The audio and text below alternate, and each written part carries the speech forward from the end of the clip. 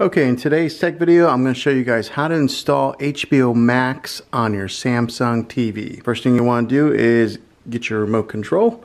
Uh, so just go ahead and hit the home button on your remote and it'll take you to the screen that looks like this. Let me turn this down. Okay, and then down the bottom left corner, you're going to want to go over to where that magnifying glass is. Go ahead and click on that. So right now I have HBO Max searched in there, but I'm going to put it in as if I was looking for the very first time.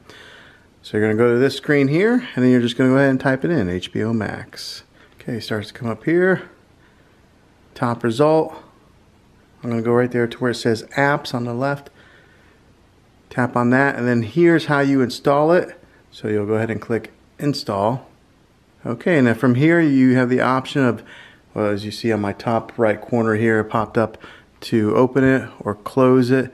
I'm going to go ahead and close it for now because I want to add it to my home screen. So I'm going to go over here to the middle and click on add to home. So that way it's on the bottom bar here at the bottom right hand corner. I'm just going to take and move it with my other apps. Uh, it's probably one that I'm going to use a little bit more frequently.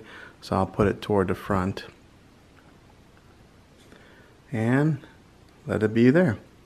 Alright, so that is how you install HBO Max on your Samsung TV. If this video was helpful, go ahead and throw a thumbs up on it. Go ahead and subscribe to my channel. I make tech videos all the time, and I would love to have you back in the next one. Take care.